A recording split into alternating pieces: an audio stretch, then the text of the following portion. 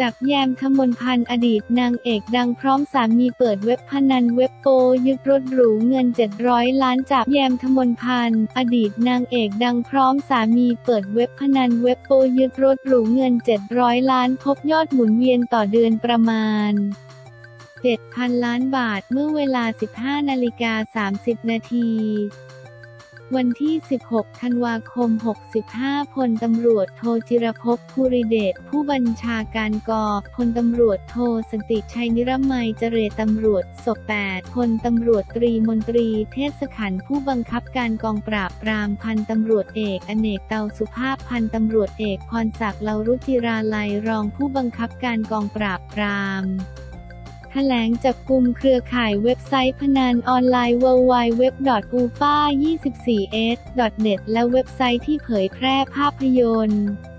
การถ่ายทอดสดการแข่งขันฟุตบอลละเมิดลิขสิทธิ์และภาพยนตร์ที่มีเนื้อหาลามกนาจารผ่านเว็บไซต์ hd.star4k.com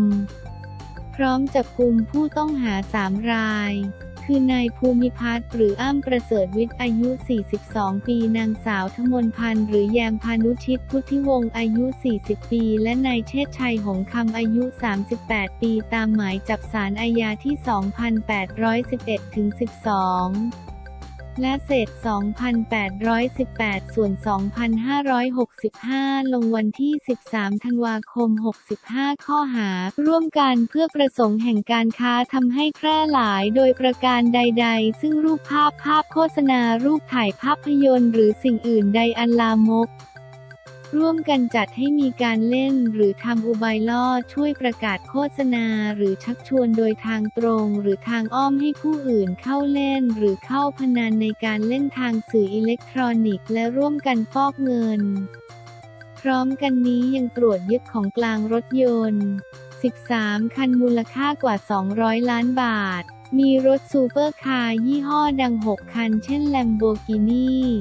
เฟอร์รารี่ แมคลาเรน ปอร์เช่ เบนซ์ BMW รถกระบะหนึ่งคัน และรถจักรยานยนต์สองคันเงินสดไทยและสกุลเงินต่างประเทศประมาณ 42 ล้านบาท นาฬิกาหรูเช่น Richard Mille Patek Philippe Rolex Audemars Piguet Omega จำนวน 8 เรือน กระเป๋าแบรนด์เนม เช่น Air m e s ลุยวิตตันจำนวน 50 ใบคอมพิวเตอร์ 5 เครื่องโทรศัพท์มือถือ 18 เครื่องสมุดบัญชีธนาคาร 44 เล่มบ้านพักหรูอีก 4 หลังรวมมูลค่ากว่า 700 ล้านบาท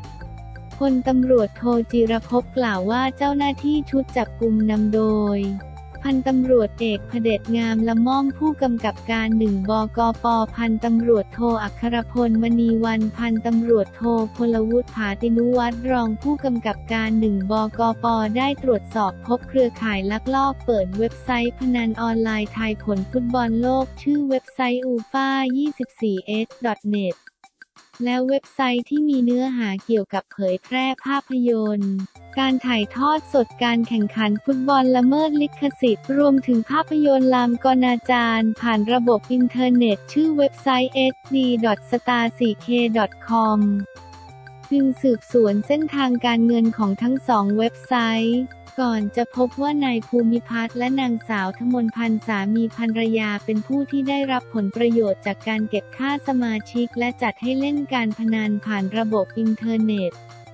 โดยมีนายเชษชัยเป็นผู้คอยถอนเงินสดที่ได้มาจากเว็บไซต์ดังกล่าว พลตำรวจโทจิรภพกล่าวต่อว่าจากการตรวจสอบระหว่างเดือนเมษายนกันยายน นายเชษชัยถอนเงินออกจากบัญชีมากกว่า 38 ครั้งเป็นเงินประมาณ 400 ล้านบาท โดยมีนายภูมิพัฒน์เป็นผู้คอยควบคุมสั่งการ แล้วนำไปเก็บไว้ที่บ้านพักของตนเอง เจ้าหน้าที่จึงรวบรวมพยานหลักฐานขออนุมัติหมายจับและหมายค้นจากศาลอาญา ก่อนเข้าตรวจค้นบ้านพักของผู้ต้องหาที่ย่านอำเภอบางกรวยจังหวัดนนทบุรี ผลการตรวจค้นเจ้าหน้าที่พบหลักฐานบัญชีลูกค้าผู้เล่นพนันกว่า 40,000 ราย ยอดหมุนเวียนต่อเดือนประมาณ 7,000 ล้านบาท เมื่อตรวจสอบข้อมูลการเสียภาษีเงินได้ย้อนหลังของผู้ต้องหาทั้ง 3 ก็ไม่พบแหล่งที่มาของรายได้อื่นที่เพียงพอต่อการซื้อทรัพย์สินที่ตรวจยึดมาได้แต่อย่างใด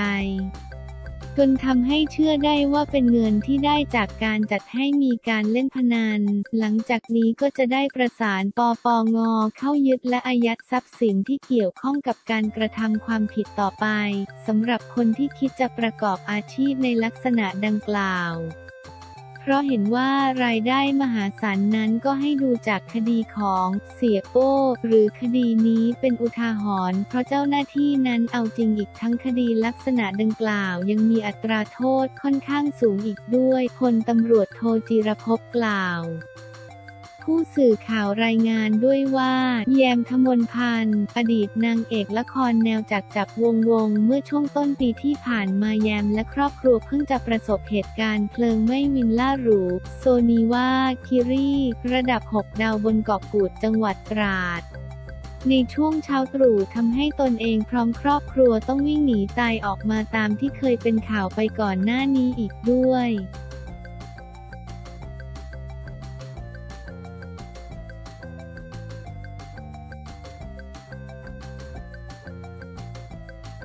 จุฬาราชมนตรีประกาศให้ชาวไทยมุสลิมขอดุอา ถวายแด่เจ้าฟ้าพัชรกิติยาภาจุฬาราชมนตรีประกาศให้ชาวไทยมุสลิมขอดุอา ถวายแด่เจ้าฟ้าพัชรกิติยาภาให้ทรงหายจากพระอาการประชวร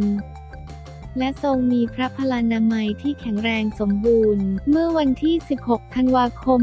65 สำนักจุฬาราชมนตรีออกประกาศเรื่องให้คณะกรรมการอิสลามประจำจังหวัด คณะกรรมการอิสลามประจำมัสยิด และผสกนิกรชาวไทยมุสลิมขอพร ดุอา จากอันลอ พระผู้เป็นเจ้าถวายแด่สมเด็จพระเจ้าลูกเธอเจ้าฟ้าพัชรกิติยาภานเรนทิราเทพยวดีกรมหลวงราชสารินีสิริพัชระมหาวชราชธิดาระบุว่าตามที่สำนักพระราชวังออกแถลงการลงวันที่ 15 ธันวาคม 2565 เรื่องสมเด็จพระเจ้าลูกเธอเจ้าฟ้าพัชรกิติยาภานเรนทิราเทพยวดีกรมหลวงราชสารินีสิริพัชระมหาวชราชธิดาทรงพระประชวรความทราบแล้วนั้น สำนักจุฬาราชมนตรีขอให้คณะกรรมการอิสลามประจำจังหวัด คณะกรรมการอิสลามประจำมัสยิดและผสกนิกรชาวไทยมุสลิม ขอพร ดุอา จากอันลอพระผู้เป็นเจ้าถวายแด่สมเด็จพระเจ้าลูกเธอเจ้าฟ้าพัชรกิติยาภานเรนทิรา เทพยวดี กรมหลวงราชสารินี สิริพัชระมหาวชราชธิดา ให้ทรงหายจากพระอาการประชวรและทรงมีพระพลานามัยที่แข็งแรงสมบูรณ์ ในเวลาหลังละหมาดวันศุกร์และทุกเวลาหลังละหมาดประจำวันตั้งแต่วันศุกร์ที่วันที่ 16 ธันวาคม เป็นต้นไป